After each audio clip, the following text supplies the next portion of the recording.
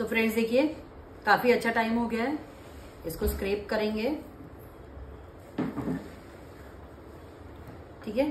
Scrape करने के बाद आप एक दो बार और अच्छे से इसको मसाज कर लोगे। और अब आपको जो फ्लेवर का बनाना है सपोज़ आपको ड्राई फ्रूट्स बनाना है, आपको इलायची पाउडर डालना है, दूध का मसाला डालना है, आप सब कुछ यहाँ पे डाल सकते हो। ठीक है? गैस बिल्कुल भी अपना बंद है। जब पूरा ठंडा हो गया, तब मैं इसको मसाज दे रही हूँ अच्छे से।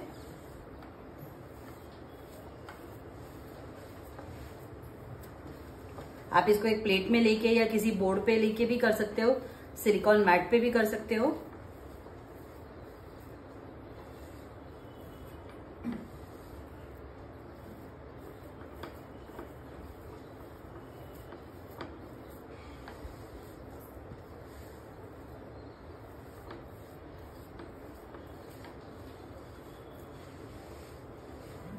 अब इसको ले लेंगे मैट पे।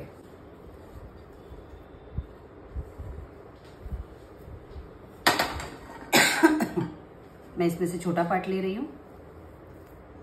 बिकॉज़ ये और थोड़ी देर ठंडा हुआ तो भी चलेगा, और हम इसको अच्छे से मिक्स कर रहे हैं।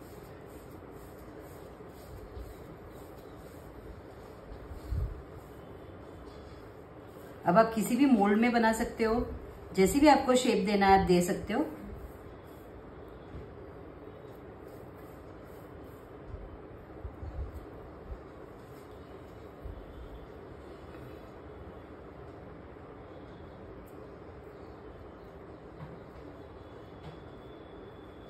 थोड़ा सा रोल और ये मेरी कटोरी रेडी है।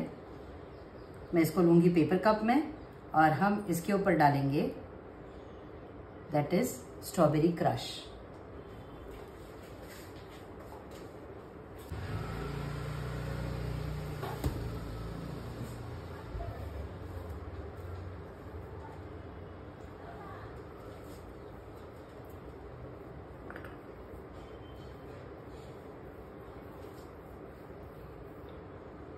जो भी आपको शेप चाहिए, मेरे को दो ये पेपर कप जो भी शेप चाहिए, आप उसको लीजिए।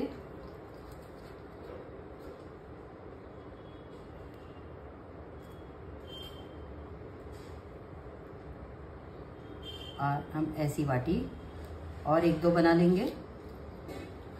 आप बर्फ़ी शेप भी दे सकते हो।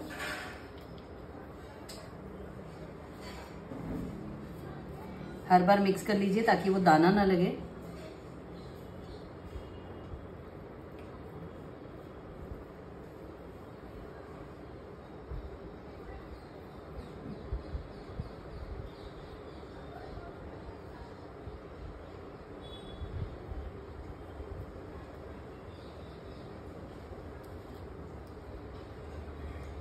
और हम ऐड करेंगे इसमें स्ट्रॉबेरी क्रश।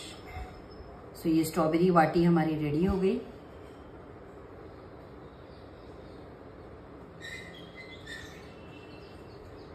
आई होप आप सबको आज का लाइव अच्छा लगा होगा। बनाइए, कोई भी डाउट्स रहेगा तो प्लीज़ मैसेज मी